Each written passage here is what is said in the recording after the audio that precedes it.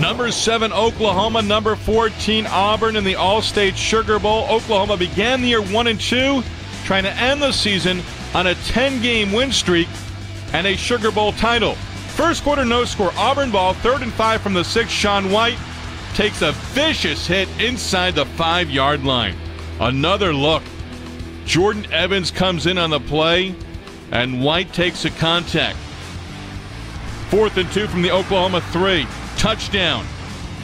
Chandler Cox, Auburn, up 7 0. White would leave the game with an arm injury on that hit. Second quarter, Oklahoma ball, third and 22 from the 39. Baker Mayfield, play action, throws deep to Joe Mixon along the sideline. A gain of 32 on the play.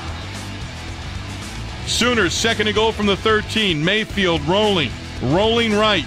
Mark Andrews, touchdown. Right here, right now. He had time and he finds Andrews. Oklahoma ties it up at seven. On to the third quarter. Oklahoma up 14 13. First and 10 from the 48. Mayfield, the handoff to Samaje Perine. He tosses it back to Mayfield and Mayfield to Andrews. Gain of 32 on the flea flicker. Second and one from the six. Mayfield this time to Dede Westbrook. Westbrook able to get in. Oklahoma in front 21 13. Later in the third, second and one from the 24 Mixon.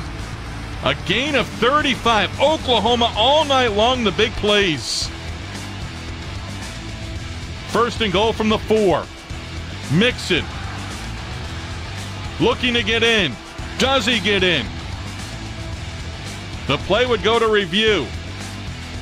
And Mixon did get in. Touchdown, Oklahoma. Sooners up 28 13. Just over a minute left in the third quarter. Same score. Second and eight from the 31. Mayfield escapes pressure. Eventually finds Geno Lewis. Why does he find Geno Lewis? Because he's able to scramble and Lewis is open. First down and more.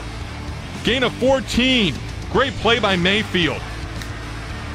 Perine, 86 yards rushing in the game. Oklahoma goes on and wins the Allstate Sugar Bowl 35-19. Sooners finish 11 2. Perine now Oklahoma's all-time leading rusher.